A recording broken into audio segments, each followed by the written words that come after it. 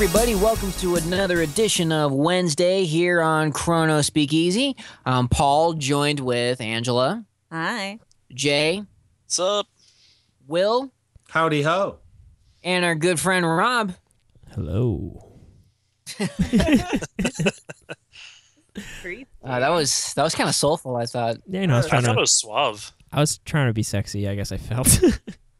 I'm sorry, guys. It was the long pause beforehand that disturbed me, to be honest. Well, you know, can't knock me for trying. Could have done one of those lower lip bite things that those attractive people do and whatnot. I hear that word. I hear those play really well on audio. I think it does. It works for G Dragon. That's true. Oh man, so we've got a pretty exciting week of. Bless you. No, we're good. Uh, dog chewing my phone charger. Wow. Um, oh shit. yeah, that'll happen. Sorry. So, um, big news this week. Uh, one I'm really uh, personally excited about is um, this rumor going around uh, that there's going to be a shakeup in the Marvel Netflix series. The original plan was we were going to have uh, Daredevil. Uh, Jessica Jones, Luke Cage, and Iron Fist, and now it's looking like Iron Fist may actually be a Netflix film and not a series. Which I think is cool, but I'm also kind of bummed out because I think I haven't. Have any of you watched that movie with Idris Elba that Netflix just released recently? No. Not yet. because I hear it's amazing, and I hear it's their first like feature film that they released. And Is it not good? no, I hear it's great. I haven't watched it yet, so I can't really add anything to that. Yeah. But um, I just loved Daredevil in that it was long and could tell a long story, whereas I feel like if the movie, even if it's really good, it's still only going to be like ninety minutes. Right. Well, I was trying to think if maybe if it was like a budget thing because I think of all the characters, his origin really kind of takes place in a mystical setting. yeah, you know what I mean? not like Hell's he, he- uh, yeah, I mean he's what he's in a floating city that appears once every five years, and I just It- hope that old Asian lady shows up again. I fucking love her. I think she will. I mean, I mean she kind of. I mean, there's that throwaway. the. There's that throwaway line in Daredevil where she, where she was like, "I'm going back home," and it's like it's it's far from here. I don't know. Well, I was actually seeing some news last week that they were having a really hard time writing the show. They were just having trouble adapting Iron Fist to be a series. So my guess is that since they were having so much trouble, rather than put out something shitty, they just create what story they could, and they probably only had enough for a movie and not a 13-hour series. And, and you know what? That's fine because I, I would rather have a short, concise, great story versus like a mediocre twelve part miniseries. Yeah, you no, absolutely. That's I guess Um, whatever, whatever makes the content better is really Right. I mean, because and hopefully though, you know, when they and this is my dream, you know, once we get Luke Cage and Iron Fist together in the same screen, I would love a Heroes for Hire Netflix series. It wouldn't be a bad setup for it if they just do the backstory and stuff like that for Iron Fist as a film. I mean, think about it. I mean, like, I mean, uh, the dude's gonna fucking punch a dragon. You know, like it, it may, maybe the budget was like, well, okay, it's it's either a twelve part series or a fucking dragon. It's like, oh shit, we need a dragon. Like, I'm I'm sure, uh, you know, there there there, um, there there there may have been a lot of um, factors involved, including what Will had said about just having trouble making it fit. You know, I, I mean, and who knows? Maybe by the time they got to Iron Fist, they were like, shit. Well, we already told that story in Daredevil. We're already telling the story in Luke Cage, so it, maybe they were feeling it was maybe a little repetitive. yeah. Maybe they just wanted to get out of the uh, the city for a while, and I mean, I guess they could have done it with a TV show too, but still, just yeah, like you were saying, s- differentiate the origin.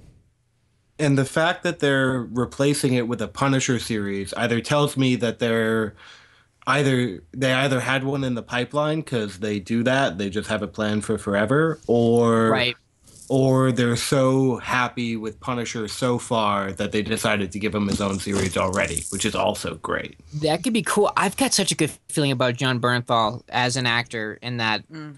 part. So I, I am really, I'm pumped. I mean, I, I, I think as long as we have Iron Fist in some shape or form, I'm gonna be happy. Yeah, I mean, I think that Punisher should be a TV series anyway, just because he's a that type of character. Yeah, yeah, you could think it's good totally for- serialize like Punisher. I feel like should be serialized versus in a movie because Exact- it's just like each episode is just a mission or like a story arc is him trying to take down someone or something like that. Whereas Iron Fist lends himself, I guess, better cinematically, like on a grand scale, because like you said, he punches a dragon. Right. Whereas I feel like maybe that's why all the Punisher movies in the past haven't been great. Well, I feel that he's a character that is constantly like evolving, and you and you really need like time to kind of flush him out and Mhm. you know to figure out why he is the way that he is, and um, yeah, so a series is perfect for him. Because yeah, like in the movies, there's Warzone, which is the most recent one, which is just basically a ridiculous B movie where he just blows people up all the time. Yeah. you mean and then- awesome B movie? I like it. I'm not gonna. I, I thought it was the grenade launcher with someone doing like a McTwist over between buildings. it's ridiculous. That was ridiculously awesome. and then um the one with John Travolta and what's his name? Oh, the Russian. Uh, no, oh, the, oh, Tom Jane. Tom Jane. The Russian was played by Kevin Nash. I just like it. I I just love the idea of like Travolta being in a comic book movie, just doing anything. I just I, I, I don't know why I I just it, it puts a smile on my face. Um, and I, I just can't help but being him be like, oh my god, you're the Punisher. after after Planet Earth, he really didn't have that many options left. you mean Battlefield Earth? Battlefield Earth. Can yeah, you imagine if John Travolta narrated Planet Earth instead of like Sigourney Weaver and David Attenborough? So Uh. I think that it would be awesome for the Punisher TV series, so that way people that have been buying the merchandise for years will have more of a know of where the skull actually came from. it's true. All the oh wow, my Bro, brain, this- this my brain just skull's- turned off. Skull's sweet. Can't wait to get ripped in it. It's true. I was just all the dudes at the gym, football players and stuff. There's like, yeah, Punisher. There's like I've seen dudes that have like iron cutouts of the Punisher skull on their trucks and stuff. And I'm just like, I don't think you get that character. That's kind of fucked up. Yeah. Unless they're his It wife would be and hilarious if it was just like the Punisher skull and then uh, peace, not war, or something like that. yeah, a Whole Foods. I, I and- would like I would like a Punisher skull that had like a pink Hello Kitty like bow on the top. I Google. guarantee you that exists. Yeah, probably. or just a like Hello Kitty in the Punisher outfit. That's got to happen. Oh yeah. Or that yeah. must already have happened. It, Um, well, Anime Boston's coming up in a few months. I mean, someone can make it happen. Yeah, we can true. make it happen. Yeah. Um, so al- also, it exists. so- it exists. I found it. It exists. It looks surprisingly good too. Just Google Hello Kitty Punisher and you won't be disappointed, everybody. um, what do we think of that Preacher trailer that recently came out from AMC? I literally just watched it 10 minutes ago and I think it looks awesome. I am really excited. I really am. I'm trying not to let myself get excited, but the hope is strong. It looks really good, and I love that they use that actor. Um, what was from that that UK? Dominic Cooper. Yeah, from that U- that UK superhero show. What was that? Um Misfits? Misfits. Yeah, Misfits he- is really good. Misfits was awesome. He's I love- also Howard Stark. Oh yeah. I Ah, wow, I didn't even I- I realize think It's gonna be a lot of fun. But he's he's young Howard Stark, right? Like Yep. Yeah. Yeah. He's he's in Captain America: The First Avenger and Agent Agent Carter. mhm. Yeah. Uh, he never does a good Agent Southern Carter. accent. Yeah, I just I love the look of the show. It looks very similar to how Breaking Bad was shot, Mm-hmm. but I loved how Breaking Bad looked. it's a Yeah. good looking show. As someone who knows nothing about Preacher, or sorry, so the only thing I feel like I know about Preacher is that it's way more supernatural than this trailer let on. Is that correct? Yes. Yes, Okay. very much so. And that character that that uh, British dude is playing is, I believe, a vampire. Okay. Mhm. So, uh, yeah, so the, I mean, the trailer, it, it seemed like your kind of general amp up, let's just tease the tiniest bit trailer. So I'll, I'm looking for the full trailer, and I'll probably have a better opinion then, but I'm excited. I think it's a great start. Um, This has been taking years to get off the ground. Too, Yeah, it has gone through so many different stages. This and Y: The Last Man, I'm surprised it's something that's finally coming with it. Because Is Preacher, it- I'm Seth- so pumped. Is Seth Rogen writing it? I believe him and Evan Goldberg, is that his writing partner's name? Yeah, that's I believe writing. they're either writing it or sh- heavily involved producing it and stuff because they've been working on like just the preacher in some way for a while. I'm still waiting for a good Fables. But like none of this Once Upon a Time bullshit. I'm looking for Fables Fables. would be really cool. That would be so good. It would. Did I, you play the game for it? Wolf Among Us? No, I haven't played the game. It's Uh, a lot of fun. You Yeah. can get it on PlayStation 3 if you have it, and it, it's on a PC on Steam. It's really a lot of fun because you get to choose like where the story goes and stuff like that based on like your decision is different outcomes. Well, you know, what, um, you know what I was gonna say too uh, in regards to that preacher trailer, and um, like uh, I will mention how Dominic Cooper, he's the young Tony Stark. There's also another Agents of Shield uh, actress in there. yes. Um, I'm kind of afraid to say her name if I might say it wrong. Um, was it Ruth Negga? Naga? Oh, Raina. Yeah, yeah, she's in it. She was there's a, there's a bit of her like getting like attacked in like a car. Uh, looks like she's playing Tulip, which is funny because on Agents of Shield she was the woman in the the flower dress, right? Yeah. Is Tulip but- like a nice character who doesn't manipulate everyone and murder people? Maybe that's why she liked flowers on her dress. I dress. was gonna so say if she's a character in Preacher, probably not. but um, I just I have so much faith in AMC at this point, just for producing a quality like television show. I'm not a huge fan of The Walking Dead, but I respect it on like a production value aspect. Like that's a like it looks awesome. Like they didn't hold back making it look like a good show. That's like my main thing with all these CW and CBS superhero shows. They just look too they look too campy, even if the subject matter isn't. They just like have this weird like sheen to them. No, I, I know it. It's like gimmicky. Yeah, and it just you can. It's just so green screen heavy, and like I don't know something about something about the like basic cable look that always throws me off. Whereas AMC just looks just looks sweet. Breaking Bad, Mad Men, they all they just they just look good.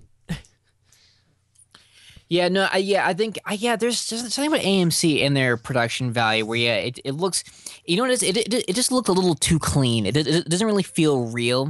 It doesn't kind of have that aesthetic groundedness that, like, Breaking Bad had or, like, The Walking Dead, where it felt like, Mm-hmm. I don't, I don't know, it just, it just felt weird. Um, I mean, and, and, and over a period of time, I, I kind of got, was able to, to, to get past it, but I, I know exactly what you're saying, though. Yeah, I think it's Um, just shooting shows on location. In my just when I watch shows, it just makes such a difference than like telling that they're just on a set the whole time. Right. Yeah. Well, it just looks so much better because you get natural lighting and things like that. Yeah, and it just Yeah. just for me, I don't know. That's why there's something about all like mainstream shows like that. I can never like like I've tried to watch Agents of Shield, and that's different because that they do have a bigger budget. and They're not always just in a little studio set, but there's just something about the the glossiness of it. No, I agree. I agree. Um, now, Will, you had also posted a news story about um, they may there. There's talks that that that they get uh, a Batman villain lined up for that possible solo film starring Ben Affleck. Yeah, so um it seems like they're continuing with the trend of um pushing the under the red hood storyline for Batman lately. So uh, they just released the Under the Red Hood animated movie a couple of years ago. Um, and then Batman Arkham Knight lends a lot from that type of storyline. So it seems like they're that's the rumor that people are getting, especially with the big hint in the Batman vs Superman trailer of the damaged Robin costume. But now that they're moving forward with the process and Ben Affleck is actually sitting down to direct it, that seems to be heavily what they're uh, leaning towards or being pushed towards, maybe because it's of the more modern Batman stories that have a connection like through the past. I feel like it is one of the stronger ones. I, I I I always thought the the Red Hood story would make a great movie because eh, I mean, especially if if they just have Red Hood be the main villain, don't don't have him like Red Red Hood and fucking Egghead or whatever. You know what I mean? yeah, like the Spider-Man three it- problem. right. Just Keep, keep, it, it. condensed. what? The Spider-Man three problem of having Uh, a billion uh, video or When was video- there a Spider-Man three? Um, exactly, Jay. Exactly. The year was 1964. I think it came out the same year as the Avatar: The Last Airbender movie, Don't get me started. which on was that. never. Oh, Yeah, I don't. What was that on Nickelodeon? Did I miss a special? They No. actually. Oh no, Legend of Korra had an animated movie, right? No, They had a I don't think special. so. Oh, They had oh, a TV special. They would do finales and combine episodes like eleven and twelve together, Ah, stuff like that. one of those.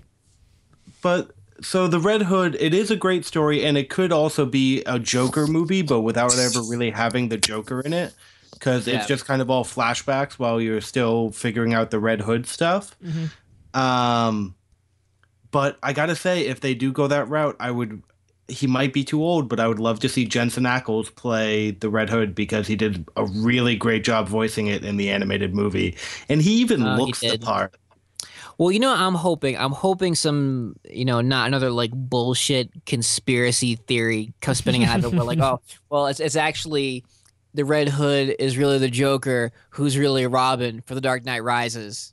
Who's, Who's They really did that Peter in like Parker, Batman Spider-Man. Beyond. who's really Alicia Silverstone from Batman and Forever whatever movie. Didn't they do uh like Joker is Robin thing in Batman Beyond? Yes. Okay, yeah. Well, it was like it was like a, it was downloaded consciousness. So Well, it was he, like, it was Tim. himself. Yeah, it was Tim Drake who had been kidnapped at some point and implanted in him, and then basically Joker's psyche lay dormant for decades until it came out in the era of Batman Beyond. Also, can I say that sequence in the Batman Beyond movie was pretty brutal. Like you know, when he turns into the Joker. Well, when they when they find little Robin strapped on the table, and he's like all white and the, that permanent grin, and the, and the way they drew his vein, like it was just like bulging out. Like it doesn't didn't is it, like I'm trying to remember. Did Batman kill the Joker in that sequence? Because that was like that was the final Batman actual Joker encounter. I remember that being implied in that that that was like the final.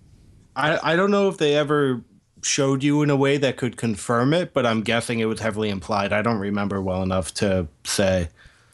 I haven't seen I'm it gonna in like watch- 13 years. I was gonna 'Cause say, I I haven't remember- seen it in like ten years either.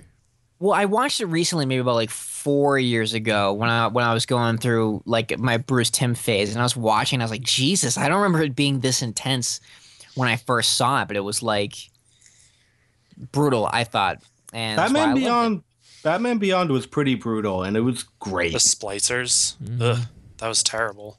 Batman Beyond needs to be be made into a movie, and I want That'd fucking awesome. I want old Michael Keaton as old Bruce Wayne. I'm just saying. yes, Yes, that would be That's all I want out of life. It's all I want out of life. Or Clint just that. Eastwood like 15 years ago. No, Clint Eastwood now. I want 90 year old Clint Eastwood.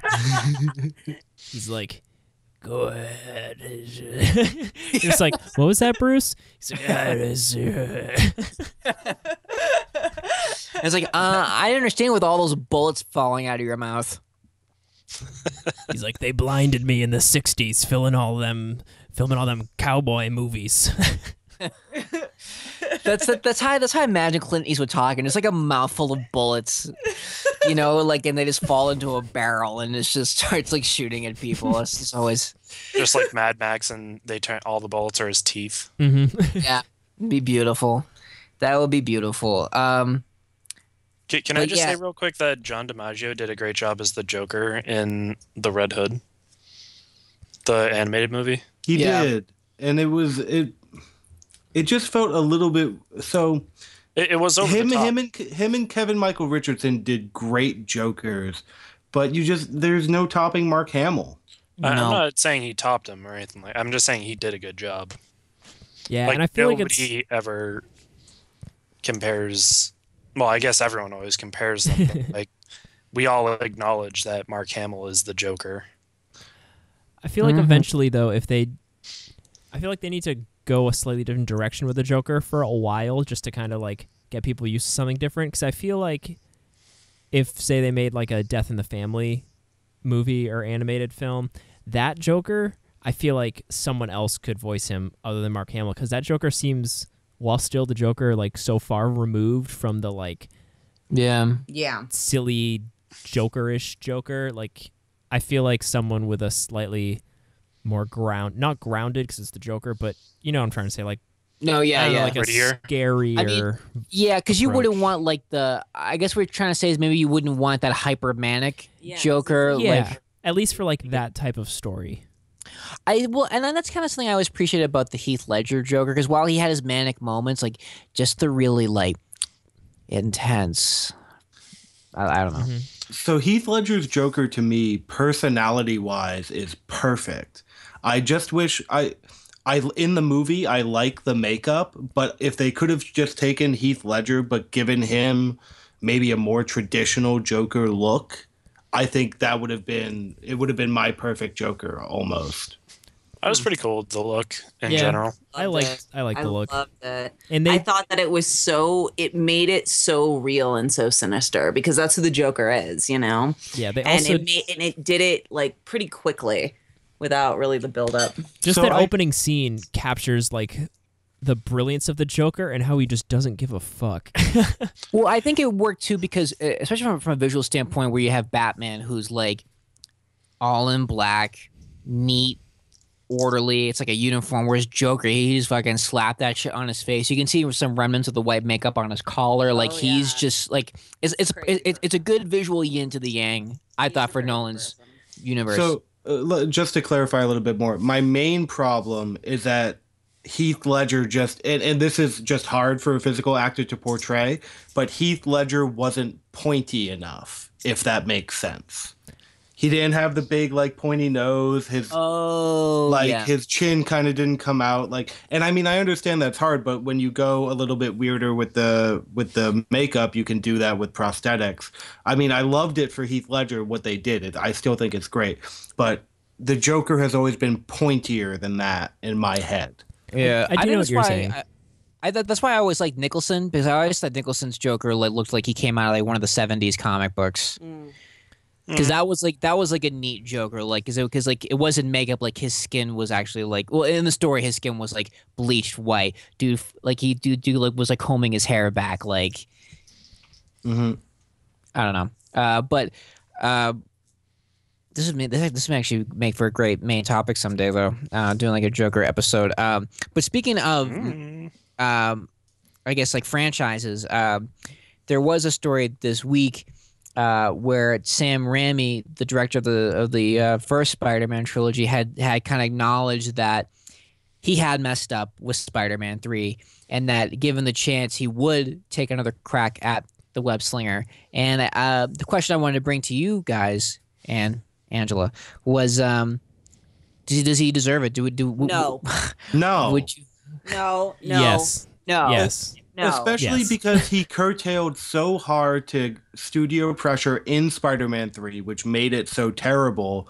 And then I've already voiced my opinions a few times on the amazing Spider Man movies and how much you can just feel the studio notes being written down and making it into the movie. So Sam Raimi, he had his chance. He fucked up. I don't trust him to do it again because he he doesn't have the strength to stand up to the produ- the studio execs. I don't know He if did- that's the case because some people literally can't stand up to the studio execs. Like the studio Well- can do whatever the hell they want. It's not like he I had mean, they- final cut on the movie or anything. Yeah, I mean, they. I mean, Look at I mean, they- Fantastic Four. They made that into like a shit piece, didn't they? Yeah, Just because they were like, "Come on, you got to make it like dark and gritty. Come on, you can do it. Make it like the Avengers and." but like apparently they shot a whole different Fantastic Four movie, and they just um he didn't have the director Josh Josh Trank is that his name? Mm-hmm. He had like no input over the final cut of the movie. They just took it away from him. Yeah, because he screwed up and he was going to cost him like four times as much money. Maybe not four, but like two times. But like Sam Raimi, say what you want, Spider-Man one and two, awesome movies. They're great, but I they're agree. also they're also outdated at I- this I point think- for superhero movies. Spider-Man 2 is still great, but it is nowhere near my top 10 for superhero movies anymore. I think it's still in my top ten, and I think Sam Raimi still can direct the shit out of a movie if he's not making like fucking Wizard of Oz or whatever the hell he made. dude like i'm sorry but spider-man 3 was so cataclysmic that it tarnished the first two for me it did And I I like Sam Raimi. I'm a huge Evil Dead fan. Like I I love the new show they're doing. Like it's su- super fun. He's really good with camp. Like I get it. But Spider-Man 3 was so bad. Do you understand how bad a movie has to be where I'm watching it and it immediately makes me think how much money did they spend on this? There are people dying right now from hunger. And they spent all of this money on this piece of shit. Like, that takes a lot. And Spider Man 3 did that. It pulled me out so far from the film, like into reality, like hard, like terrible reality, kids with flies on their faces. Like, I was so mad. At the end of that movie, some guy like started clapping because people do that in the theater and i started yelling at him and i was like it was just instinctual like no no no you don't clap for that because that movie was so wrong Here's, I think, a good example of, of like just speaking to the effect of Spider-Man Three. Um, when I saw that, I um, just get. It's just so tragic, you know, because I, I went to the fucking midnight showing of this movie. I was so excited, and do you remember the scene when um, was it like Peter Parker? I think he's dancing with Gwen Stacy, but Mary Jane is there. They have a tussle. Something happens, and Peter Parker elbows MJ in the face. Do you remember, remember, remember that part? And I think the and I think the appropriate response, the appropriate response should have been like, "Oh, not MJ. That's Peter Parker's love." People fucking laughed and clapped. They applauded for a woman getting elbowed in the face because I think the the the, the shared rationale was somebody needs to get fucking punched in the face for making this movie. It may as well have been Mary Jane. Like, I mean, th- this is like, I mean, the the title that's what like domestic abuse. People were like, yeah, punch that bitch. Like it was just like insane. Like how like because because like everybody was so upset about that movie. You know what killed me? Spider Man three if you think about it, it's really another comic book movie called The Mask. Peter Parker finds this alien thing, puts it on. Oh, suddenly I'm a new person and I can dance and I go out late at night and wear my hair weird. And and what was that scene where Mary Jane and uh, uh, Osborn there they have that whole montage of cooking breakfast and they're doing the twist. dude okay okay so Can- can I just say something real quick? can i I, I, I just, I I just just want to say this one thing, just this Uh, one okay, thing. okay. That movie was so bad and it made it took me to such a dark place and rage that I actually didn't like who I was after I had watched it. I didn't like who I was in the as like a person. Like I couldn't look at myself in the mirror because I was so angry. That like that's insane. That's insane, but it really happened. Okay, sorry, Jay. Okay, so I never saw Spider-Man 3, so I don't have that tainted like Spider-Man whatever that you Right. guys clearly have. So in my mind, Spider-Man 1 and 2 still solid movies. Mm-hmm. Right. So and I really like Doc Ock in number 2. He did a great job.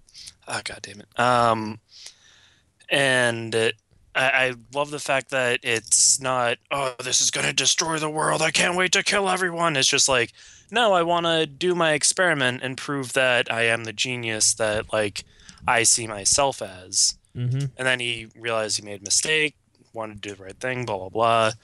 They, they did a good job with that. And the, like, super comic booky ending to that also, where, like, uh, James Franco just throws the glass of whiskey at the mirror because he's like having a mental breakdown, then finds his father's lab. I thought that was really cool. I think too is awesome. I love it. Will So my reasoning for Spider-Man 3 being the reason that Sam Raimi can't make another Spider-Man movie is because so we know that the studio execs pushed on him to include Venom. Mm-hmm. And that's readily apparent by how terrible it is in the script. right. The entire other half of the story, where they somehow take Sandman and turn him into Uncle Ben's killer, that was that was Sam Raimi's original script. That was his story. I didn't like that Mufasa ending where he was like, like Peter's like, I forgive you, and then he fucking fades into a cloud or some bullshit. Yeah, so it was, and so just the idea that Sandman killed Uncle Ben is just stupid, and I hate it, which might be a bit polarizing, but I kind of don't care. Um, and and so like just the entire movie was terrible, and no part of it that Sam Raimi did there made it better. So I, I just I just looked up the budget. Two hundred and fifty million dollars.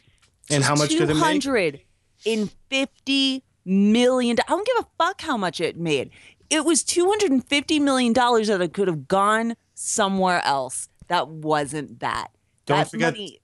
Oh, Don't forget the probable fifty million in marketing. Yeah. Do you know what's even Here- worse? Look up the budget of Transformers because everything Ugh. past the first Transformers is a goddamn nightmare. Like here, here's here's here's my final takeaway from the whole Sam Raimi situation because I um, agree with Rob and Will that I really loved Spider-Man and I adored Spider-Man 2 because I really thought that it got to the heart of Peter Parker, and I liked that it asked the question, what would Peter's life be like if he wasn't Spider-Man? Could he be happier, you know, without the mask? And and I thought that it really kind of stripped the character down, got to who Peter was and his and his desire and and and how the real world affected him, and, and I I loved it. I, I thought it was a really uh, well written piece, and I think because because I loved one and two, that's why I felt so robbed and hurt by part three. Because I felt like I, I had gained trust with Sam Raimi because after Spider Man 2, I was like, I can't fucking wait for Spider Man 3. When I heard about like Sandman and Venom, I'm like, ah, that sounds weird, but Sam's got this. He's got this. And he didn't. And it was like just, it was terrible. Like it, it, it, it, it, felt like betrayal. And I don't know. I mean, I'm sure me, you know, that, you know, I, I appreciate that he says that he's, that he's messed up, but I just, I just I'm very hesitant to see him back at the helm of a project like that. Dollars on a mess up. The thing We is, already- the budget and all that stuff that has nothing to do with Sam Raimi. That was Sony just literally throwing money and having bad ideas. The scene of Doc Ock in the hospital in Spider-Man 2, superhero movies need more of that because that scene is incredible. The wall fight scene. When he just yeah, like he messes up all those people and you just see the silhouettes and it's essentially a horror film scene, but just in a Spider-Man movie. Yeah, but and what's it- but- so Sam Raimi. But what did Spider-Man Three have? I mean, it, it didn't have any shade of Sam Raimi. It was like he took a nap and somebody else directed for him. Like he was wa- honestly probably pissed because they forced him to put a character he didn't like in the movie, and I don't blame him. right, but uh, there's still like I, I I I didn't I didn't I just I just didn't see Raimi's trademark anything anywhere in that movie. You know, like I mean, I, I get what you're saying because I like how, you know, both Spider-Man movies had scenes that made me jump, which I thought was cool because you know he's he's got his foundation in horror, but it didn't even feel like a Sam Raimi film. Like I was hoping that that that, that you know that there would have been something somewhere It's that kind of clued me in that he was still there. It's because he didn't like Rob said he didn't care. So since he didn't care, he didn't put any he his movie was taken away from him. So he just did what he needed to to get the job done. And after so I I feel like it's hard to keep a director around for more than two movies. You really have to have someone else like Kevin Feige as the showrunner per se and keep Mhm. all that in line. But then cuz I just uh, to actually direct that many movies, it's going to burn you out. And how Kevin Feige is still a producer without dying, I'm not sure. Maybe he's a life model decoy. Well, I think Feige is the chosen one. Also, I feel like they should just He's space. They should just space out movies. Do you know what's a good three movies? The Indiana Jones movies. They were made over what, like, fifteen years or something like that. Right. Like if Sam Raimi made a movie once every five years, they probably would have been good Spider-Man movies. But now they're just like, you're gonna direct seven superhero movies. You're gonna direct one every two months. Um, and you will have two bowel movements. That's all you're allowed to have. exactly. Here's two hundred and fifty million dollars. Just get it done. And also, you need to have this, this, this, this, this, this, and this character in it. Do you know what kids like? Kids like Venom. Also, okay, can we talk about the the fact that fucking Topher Grace got cast? Yeah, as Eddie I mean Brock. Eric Forman. Yeah.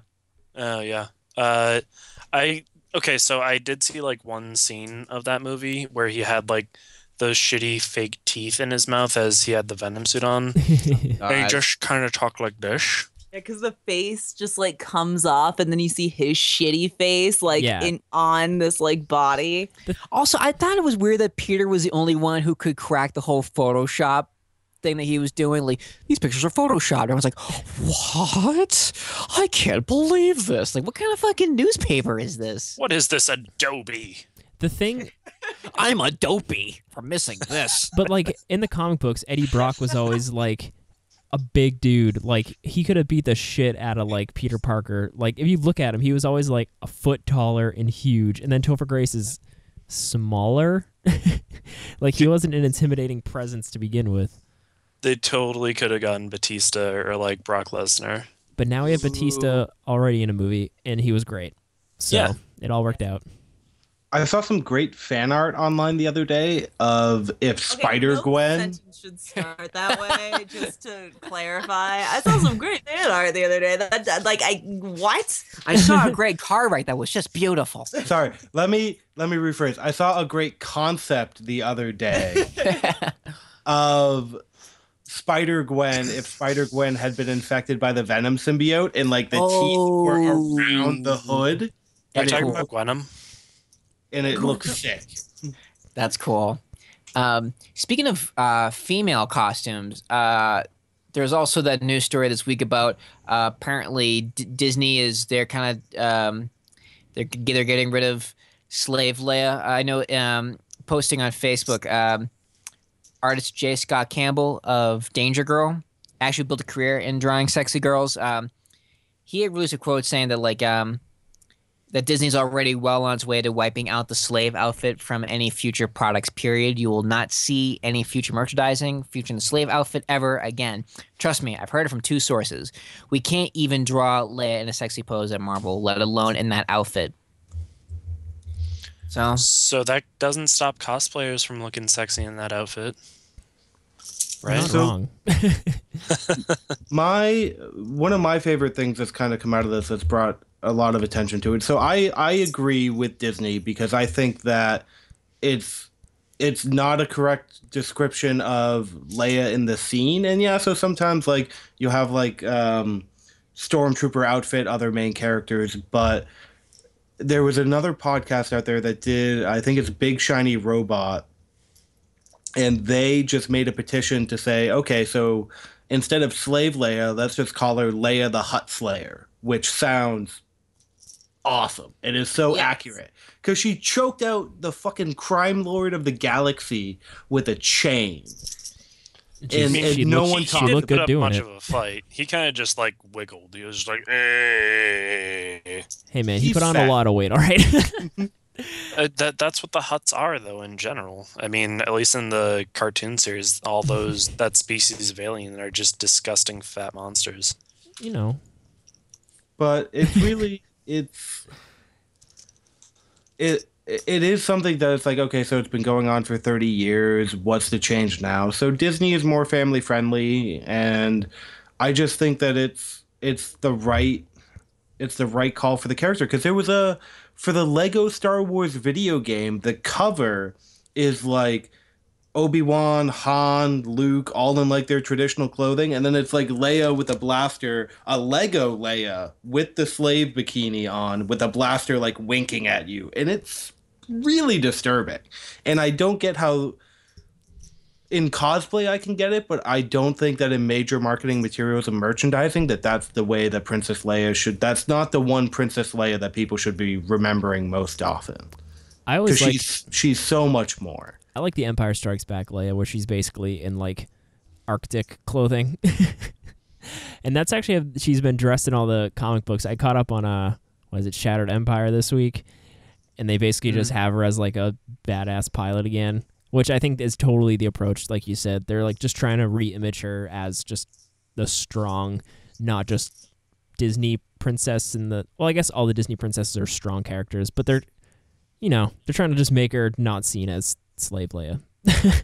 Yeah, She's- she's more. I mean, I think it's definitely, um, and I was saying this earlier, it's more, I think a lot of it has to do with the language um, about how we talk about her and how they want that character spoken about. Um, and I mean, the slave Leia look isn't her most iconic look.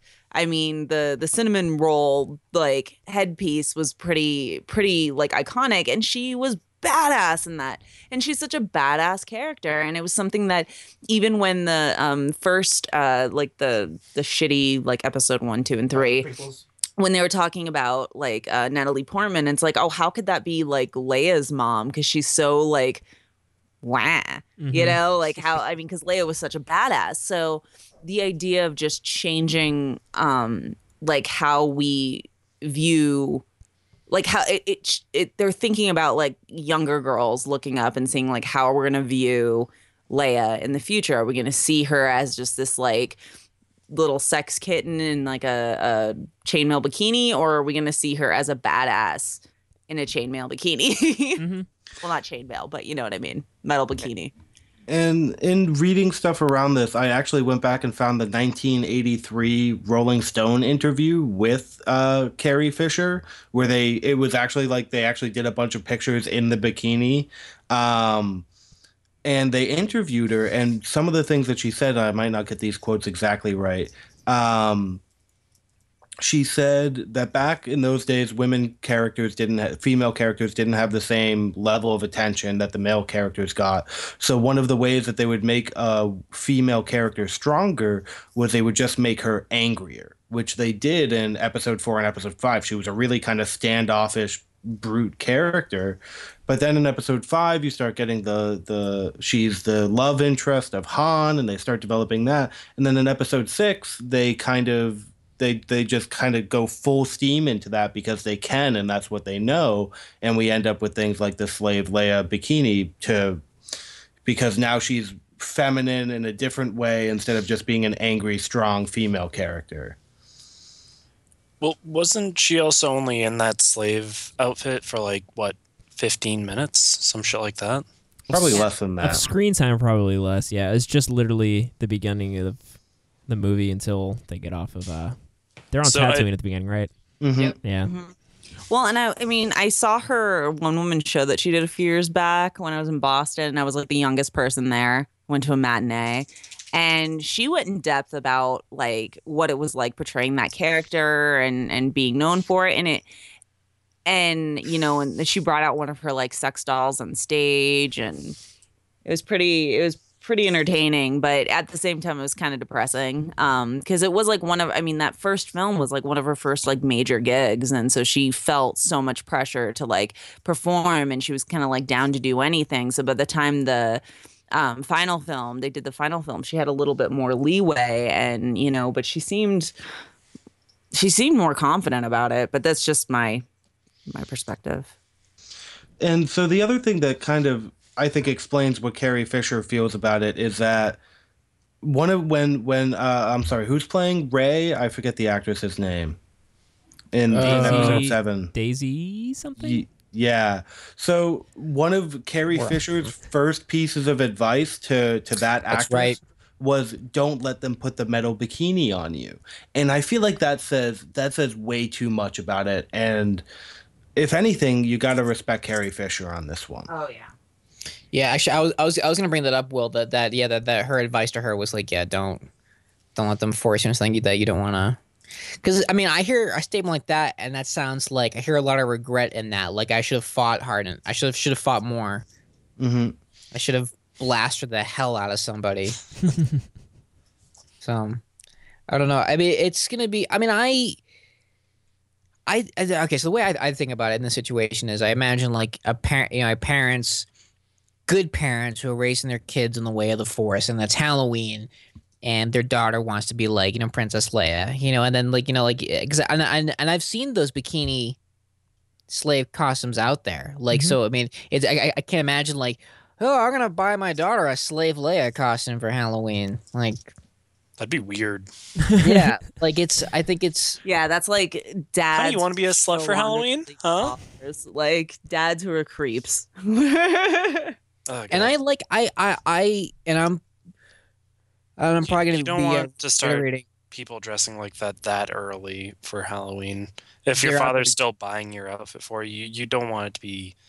You, you want more clothes than less. I'm just saying for Halloween, like I was saying, Princess Leia on Hoth. It's practical. You'll be warm out there trick or treating. You just it's it's just a vest, some like a nice turtleneck, get some patches and a blaster. You're good to go. Some braids. Next Halloween, a girl in Boca Raton, Florida, dies of heat stroke from wearing a, a Princess Leia uh, Hoth outfit. All right, if you're in if you're in Miami or something and it's hot, you can you can wear the bikini outfit. That's just practical. Well, in New England, I have the choice because it's either going to be really cold or really hot. It is true. So I'm all for the idea of them changing like the title, the title of it, and I'm gonna reiterate Jay's point. Of, I'm sorry, uh, uh, Will's point about how you know you have such such a strong female character who again took down this this huge intergalactic boss with a with, with a chain, and all is remember is re- is remembered is that oh like this this the slave outfit. So I really like that they're that they're renaming it like you know the uh, Leia the Hutt Slayer.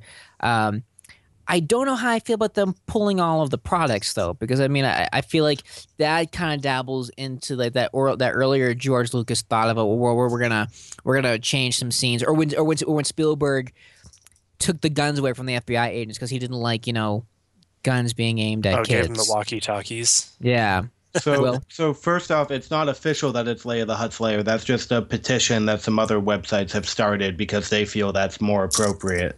right. Um, but then, as far as pulling it, so Disney isn't going to release a sexualized product of a single one of their characters. They're just not going to do it. Right. And well, thank and goodness we have the internet to do that for us. and and it bums me out because one of the things that they were apparently working on was a, a statue, and I would have. So I would not have minded a, a Princess Leia statue, but. Mm, I just think it's weird I mean, because they I mean, still do a Princess Leia statue. But They so so so they'll get so anyone who does it from now it won't be licensed by Disney. They'll be sued faster than you can imagine. Oh, okay. So it's not Disney doing the statue. It was just they were going to make a statue. Yeah, someone was licensing Okay. to, to make a statue. I just think it's. Dick I mean, Disney. I mean, you know, you, you know, say say what you want about the outfit, whether whether you thought it should have been in the films or not. Regardless, it's in there, and I feel like I don't know. It just seems weird to not. I don't know. Is it just me that, that, that finds it's a little weird, or we're not we're not going to make this? I mean, I mean, I get the point that you don't want to sex- sexualize the characters, but like, but that's part of film history. It's still gonna be there. They're not gonna take it out of the movie. So No, no, no, if, but no, but George that's not what I'm Lucas touches those movies one more time, or if anybody does, the world is gonna freak the hell out. Yeah. Okay, so I what just- if they did do the like touch the movie thing and like you know how they edited it so that the uh whatever dickhead kid from episode three that played Anakin in it Hayden was in the yeah whatever his name is I don't know I care. Um, they edited the movie so that he would be in it and so that they would show Palpatine's face and stuff like that. What if they just like put a turtleneck over Leia in those scenes? That would be kind of funny. That would be very funny. I'm not saying that wouldn't be funny, but I'm saying ah, that seems like a lot of work for someone to do. Ah, it's Disney. They got money out their ass. It's like in Thank You for Smoking when they replace all the cigarettes with like steaming cups of coffee. Uh, that'd be great. Yeah. But I think that um, I don't know. Uh, all the, ser- uh, I guess, keeping all the Leia stuff on lockdown is kind of lame. But at the same time, getting rid of the whole slave Leia or just changing the name of it, uh, that's cool. I don't know. I yeah, I don't. I think it's good that they're. I mean, not good. I don't care either way. It's still gonna be in the movie. It's I nothing it. I I- guess. Yeah, whatever. I mean, I agree. Little kids probably shouldn't be like, "What's slave Leia?" Well, was it originally called Slave Leia by the industry, or was it like fans just were like, "Oh, that's Slave Leia"? No, there was officially released like uh, figures, like so Mhm. action figures back in the 80s that were like Princess Leia slave costume or a slave Leia or some combination. hmm I mean, I mean, she was technically put into slavery at that point, and that is the outfit that the slaves wear. Right, but that's but so yes, I outfit that she understand. I I, I thought they had understand. Yeah, but so people will will always would love merchandising of that, but I agree that Disney does not have to provide that because I agree that that's. I mean, as a male and as a male who loves Star Wars, I absolutely love that bikini. But I agree that it's not something that, especially being owned by Disney, should be merchandised. Yeah, and it's like, and Yeah. it's you know, I'm all for like, I, I mean, I'm definitely one of those people that thinks like, you know, we have to be a little careful with making things a little too PC, but like, if it's not hurting anybody, like, then what's the fucking problem? But I think the slave Leia image can be hurtful in the long term because as a as a woman who grew up in the 80s and you know had those those images in my head. I mean it like women are we're a little warped because of that you know? I mean there's we there's a lot of social pressures on us to be a certain way and to be we have to be like super super sexy but still nice enough to bring home to mom. We can't be too intelligent. We can't you know but you know it, it- it's just there's so much like ridiculous shit. So it's like one less thing to like put a pressure on a young girl so, to like be a sexual being it's like one less pressure. It's like get rid of it. It's like not that big of a deal. I mean nobody's gonna uh, we still have the internet. Like nobody's gonna cry because you know Dis- i i want my shit trademarked by disney you know? Like it's stupid. Nobody fucking cares. If they do it's I- like they need to check their shit I, I think my parents would be happy with any woman I brought home to them as long as they're a real person. you know what I mean? It's like it's like you know, if, if guys like I, I I don't know. I think I think that that sometimes uh, I mean because social justice warriors are like a pain in the ass. I get it, but uh, the, some of the shit that they say is like grounded in reality, and it's not complete crap. You know, there's a reason for it. Yeah, that's why I don't I don't really care. Do what you want, Disney. Just don't Yeah. ruin the movie. Yeah, just Yeah. don't let George Lucas touch it again. It's funny that they made up the whole like Jar Jar Binks is uh, Kylo Ren, but please don't make that a real thing. So No, did you read that. Did you read that full fan theory? Because that guy put a lot of effort into Was it. was was it They as put a lot of long as the into lots of Joker one that we talked about last week? Oh God. Yes. God, people have so much time to do stuff. How do you have so much time? Do people have jobs? They I do, don't. they just don't have to do anything at their jobs. Um, no, so it's on Reddit, the original fan theory. He like he goes in, he grabs screen grabs, he grabs gifts. He I think he makes a couple gifts. He's like, look at this. This is a force jump. He compares uh, Jar Jar Binks' fighting style to drunken wushu. Oh like it's it's incredibly in depth. Screw that guy. Ain't nobody got time for that. I gotta wake my ass up at 4:30 a.m., drive to the big old city, and do some work. I ain't got time I was to just- I talk was- about no was about Jar say, no Jar. for- Yeah, but I said no one's got time for that, but we do have time for what we've been reading this week. that is true. So, and and not just what we've been reading, but just kind of sort of what's been kind of, I don't know, Occupying our yeah, what's interests. been tickling our nerd fancy this week. Ooh.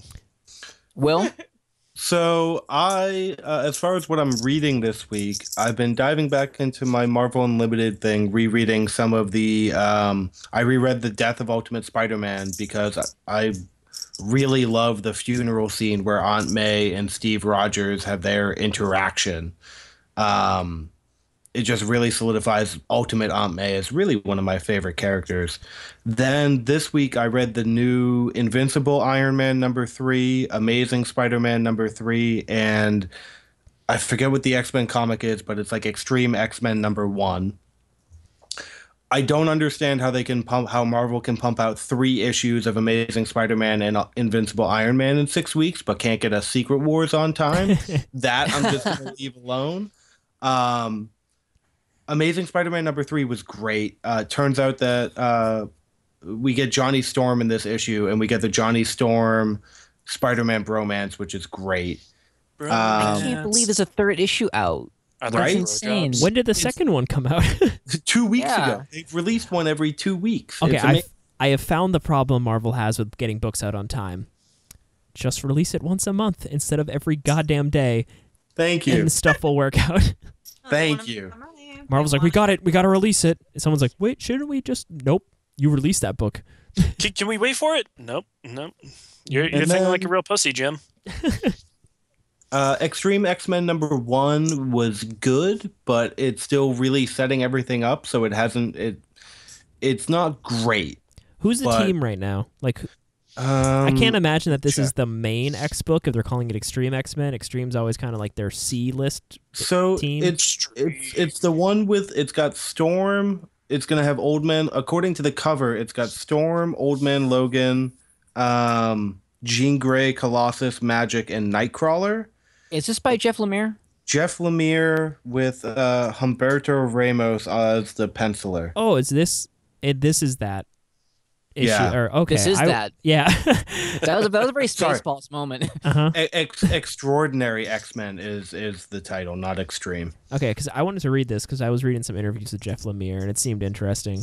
So it seems like it's going to be good, but just the it's a first issue, so it's just kind of like okay, so we it's I think because it took till issue three for both Amazing Spider-Man and Invincible Iron Man to get good for me, so I'm gonna give this one the same leeway. I thought Iron Man got good in the first issue. I thought that was out of that that week when all those came out. I thought that and Doctor Strange were definitely the Oh, that's true. So maybe it's just. Amazing Spider-Man. Amazing Spider-Man's been off to a slow start. yeah issue one of that. I I couldn't even finish it. Issue issue three is really good. Maybe I'll check it out, but I would also do it rather do what you did and reread Death of Ultimate Spider-Man because that arc is heartbreaking and I love it. Mm-hmm. And then I've just been on my X Files binge. I'm somewhere in season two now, so I'm Nice. progress. Maybe I'll be caught up by January. I have faith in you. As long as you can get to season five, you'll be good. Okay. Because the end of the show is eh. Do I have to watch? Do I have to watch the movies? the first one's not bad. I liked the First I did too. Yeah. And that isn't is, is, isn't that between seasons five and six? I believe it is. yeah, Fight the Future was good. I liked it. My parents took me to see it when I when it was in theaters, but I remember absolutely nothing besides the black goo. Mm. What was like Venom? Yeah.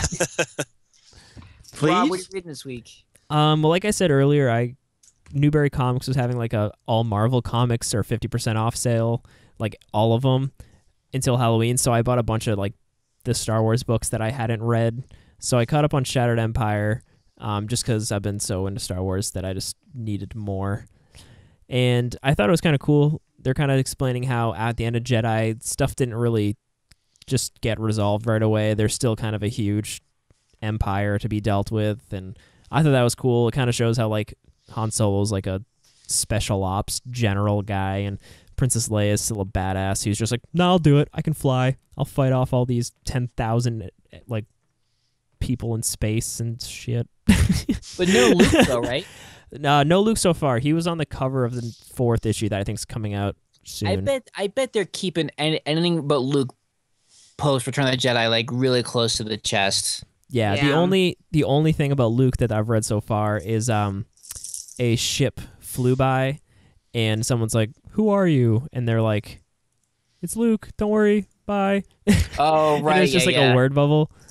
Um but yeah, Which I was glad I was glad they brought up because I wondered like when he left the Death Star in the Imperial ship, like why is no one shooting that? yeah, I guess someone was going to, but he's like, "No, it's cool.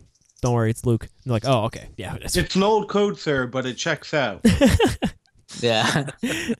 Yeah, and also, um, it came out a couple weeks ago, but we haven't had a chance to talk to it. Um, have any of you read the Twilight Children, Darwin Cooke's new book from Vertigo? No, not yet. You guys got to read that because, first off, Darwin Cooke is awesome, and Yes. everything he does is awesome, and it's a Vertigo book, which I'm surprised those come out anymore because nothing good.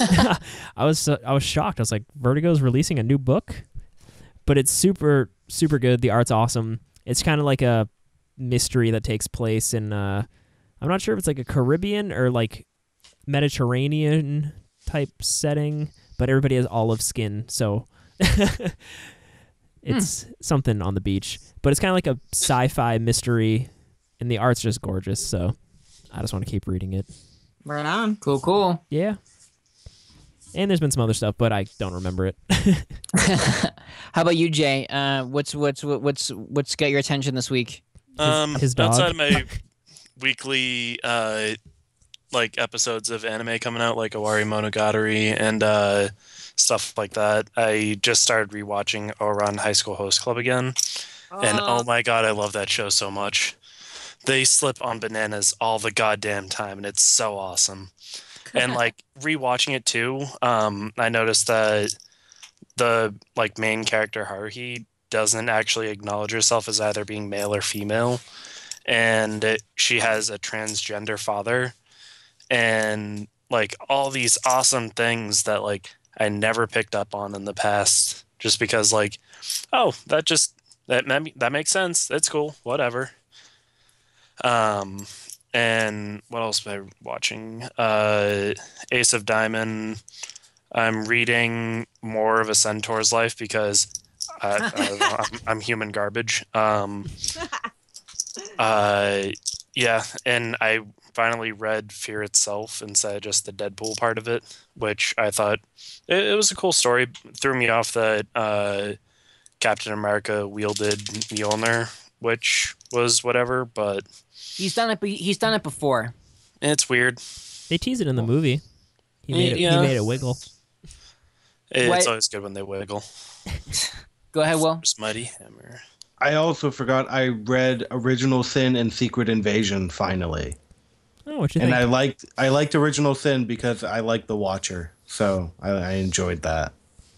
What do you think of Secret, Secret Wars or Secret, Secret Invasion? Invasion? Started off slow, got really good by the end. Yeah, I thought it was pretty good. I remember liking it. Yeah, I liked. I knew I was gonna like it when Brian Michael Bendis went before he was writing. He's like, "Yeah, I've been watching the thing on repeat to get inspiration." I'm like, "Oh, that's a good starting point. If you're watching the thing over and over before writing a story, we're gonna have a good time." Mm-hmm. Mm-hmm. So, Jay, I'm sorry. Did you have a- a- anything else to add to what, what you've been watching and reading? Uh, basically just marathoning, uh, like Halloween stuff and things like that to get in the mood for festivities. Cool, Angela. Um, I mean, I haven't been reading too much. I have a nice like pile of uh gem like that I need to read. Um and uh Providence. Providence. Oh yeah, shit! Really, I have a huge stack of Providence too. I, that I'm, I'm, I'm kind of glad I waited because I'm gonna tackle those. But um, we've been watching a lot uh more anime, and um, yeah, I just got Paul started on My Love Story, which is really nice. And that's such a great manga. And I love the anime so far. Um, they're just having a lot of fun with it. And yeah, we're getting started on the second season of Kimi ni Todoke. And um, they have like a lot of good anime up on like Hulu and stuff. So it's it's nice Hulu, to be able Hulu to really has a lot. Dive like, in. Yeah. Uh, it's really surprising how much. Like, I think they have more than what Crunchyroll has. really? Yeah, I, well, I think I know so. Crunchyroll is really good at like um streaming. Like They're more up to date with things that are coming out, but yeah. uh, Hulu has those too. Yeah. Like um, uh, I know they're playing uh, uh sh- the Chivalry of a Knight. They're up to date with that. Owari oh, Monogatari. Cool. Um, something asterisk, some bullshit. I forget the name of it. So it it is it is a lot of fun to get back into anime. Um, it's still a lot of crap to sift through, but just to get to the good stuff. But I so far, you know, finding little new things is, has been pretty delightful, and it's a fun process. So, yeah, that's basically what I've been up to. You you guys know that you have someone that's watched over 500 different animes. Just throwing that out. Yeah, but you know, I, I, sometimes with you, Jay, and this is not like an insult in any way, shape, or form. It's not. Um, but sometimes it's like it's a hit or it's a complete mess. Because I know you've tried to show me a couple that I've just been like, I hate this. I I'm not gonna continue watching this. This is awful. I want to go to bed and or drink and or drink more wine. Um, but like you know, pan, uh, Polar Bear Cafe huge fucking hit. Like you, you, you, you do. So you do have really really good.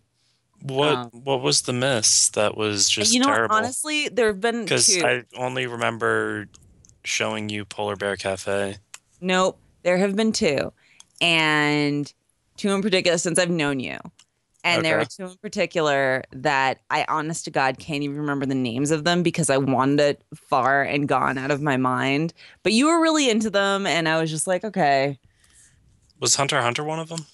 no, It was Spider Man three. Oh, okay. No, I don't. I, I honestly don't remember because um, one of them in particular, I remember it was at um, my ex's house. And we were chilling in the living room, and you had this Oh, anime on, and you right. guys were both just like, "Oh, this is so amazing!" And I was like, "I fucking hate this." Right. Yeah. I've matured since then. So I'll do briefly just what I've been reading this week. Um, not uh, budget is limiting me from being um, caught up on current comics, so I decided to go digging through my pile, um, and I'm going to reread um, all of the Daredevil stuff I have. Kind of actually, uh, I'm starting um, with the Kevin Smith, Joe Quesada Daredevil, um, Guardian Devil. So I just started rereading that because I know that kind of goes into the Brian Michael Bendis and the Ed Brubaker run. Um, so I'm currently rereading that right now, and it's really interesting to read because There's it's a lot so, of words. There's a lot of words. It's a lot of words, and there's just a lot of '90s throughout. Like, I mean, the Joe Quesada, his art. I mean, I know he's big in the '90s, so his art just like kind of oozes that '90s style, and like Kevin Smith does like a lot of shout out to like other stuff like the fact that like he mentions about how like um Matt Murdock has tickets to the fucking pr- world premiere of Good Will Hunting. It's like, okay, one, why he's fucking blind. why the fuck does he have those tickets? Like, I get your boy Affleck is is in that movie, but he like, produced it. Jesus H Christ, like. I just like I, I I don't know I hate I hate I don't know I, I just uh, it just it, and and maybe and, and maybe like it just like it, it just personally it's like oh god I'm so old like Good Will Hunting like Jesus Christ. Um and also um fuck it I'm gonna do a spoiler. I think it's really weird that Deadpool I'm sorry I'm sorry not Deadpool uh Bullseye kills another Matt Murdock girlfriend. Like it's like Elektra part two and it's like, all right, we've kind of. Although there was a genuine good twist at the end that I won't spoil. Um, but I think it's definitely, if you're a Daredevil fan, it's definitely worth a read, especially to get ready if you want to read the Brian Michael Bendis run. Yeah, I think it's solid. I think it it it's But definitely right, not. it's super wordy because it opens Yeah. with like Karen Page writing a letter to Matt Murdock, and it's a fucking letter. It's like, Mhm. oh my god! Like if I was Matt Murdock, I'd be, I, I'd be like, you know, dude, you, you, you, you, you, you, you lucked out. Like, Yeah, this is a real good thing you're getting right. from this. Jesus Christ. But in the meantime, please read all of our content on chronospeakeasy.com. Yeah, and check out our YouTube page that I've been kind of throwing stuff up there on at Yeah, there Chrono Speak Easy on YouTube. and uh, and and the and YouTube will also have the uh, the Tuesdays podcast hosted by our our very own Will Carey. Yes, that is also up there. Good plug, Will. Was, Sorry, my my computer is on the verge of dying, so I've just kind of been sitting here silently so I don't get cut off unexpectedly. Oh, then now is the perfect time to wrap up. So again, uh, yeah, as always, check us out on iTunes, Stitcher, and of course, chronospeakeasy.com and Twitter and Instagram and all that fun stuff. So in the meantime, Will, Enjoy your issues.